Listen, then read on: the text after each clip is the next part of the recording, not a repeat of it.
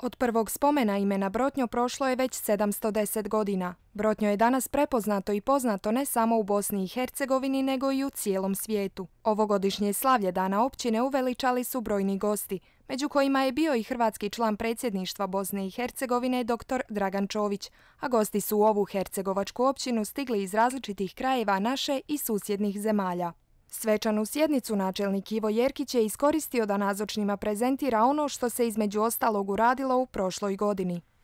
Projekt kanalizacije Međugorja, uradili smo veliku stvar zadnje tri godine otprilike, uložili smo oko 3,5 milijuna maraka, stvorili preduvjete za izgradnju kompletne kanalizacijske mreže Međugorja Bijakovića.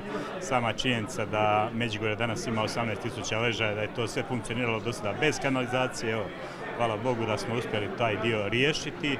Istina je da taj projekt nije gotov, on je živ, nastavlja se dalje raditi, ali su preduvjeti stvoreni da možemo početi prikopčavati objekte na kanalizacijskom mrežu u Međugorju. Jerkić je istaknuo i važnost vraćanja suda u Čitluk, ali i otvaranje sportske dvorane u Čerinu, a krenulo se i u izradu projekata preko granične suradnje. U sklopu ovoga projekta Interreg zajedno sa gradovima iz Republike Hrvatske pripremamo sad dva projekta.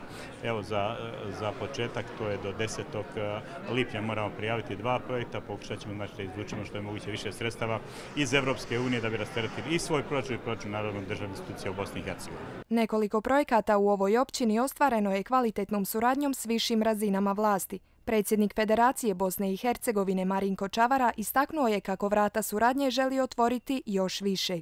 Trebamo napraviti znači, sustav u kojem ćemo što bolje izbalansirati način funkcioniranja općine i svih viših razina, odnosno kako nijedna razina ne bila sama sebi svrha, nego da svaka razina radi u cilju omogućavanja funkcioniranja svih razina, a posebno da to na konačnici da rezultat bolji život svakog čovjeka na čitavom prostoru Federacije Bosne i Hercegovine. Općina Čitlukovu prigodu iskoristila je i kako bi dodijelila priznanje zaslužnim pojedincima i udrugama. Između ostalih nagradu je dobio Rade Stojić za nesebičan doprinos i iznimnu žrtvu za neovisnost hrvatskog naroda.